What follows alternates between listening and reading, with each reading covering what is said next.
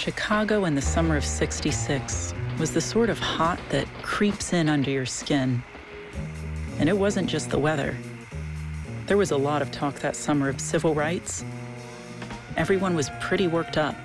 The movement had gathered momentum down south, and with the Civil Rights Act becoming law just two years earlier, changes were climbing up north to places like Chicago.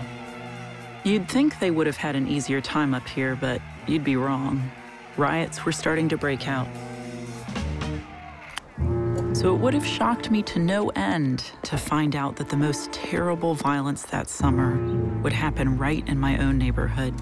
Jeffery Manor was a quiet area at the edge of the city. You never expected to look out your window and see a crime scene. The first homicide detective on the scene, Jack Wallenda, walks into the townhouse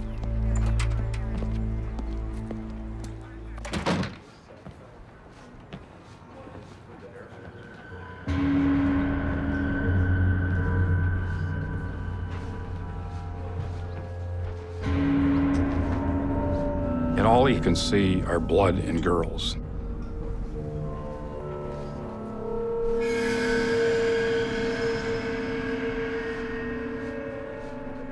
He's never seen anything like this before. There are five lacerations, all within a six-inch area. You have eight victims. They've been stabbed, strangled. And this one was stabbed in the eye. In the living room is a nude young woman. It appears that she has been sexually assaulted. The victim's wrists are bound. They were tied very professionally and tightly. It's a complete scene of carnage and uh, mayhem. This had to have been at least two, three perps. There's a great deal of speculation who possibly could have accomplished such a gruesome feat. Is it a gang of drug-crazed killers? There is a screen off a window in the rear of the townhouse. Also, because of the riots and the general sense of tension between blacks and whites, there is some grumbling of were these a gang of blacks who might have broken into this townhouse and killed these eight student nurses?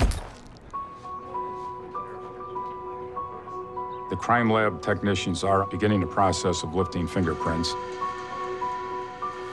There is a bloody T-shirt, which doesn't look like it would belong to the nurses. But in terms of clues, there are very few.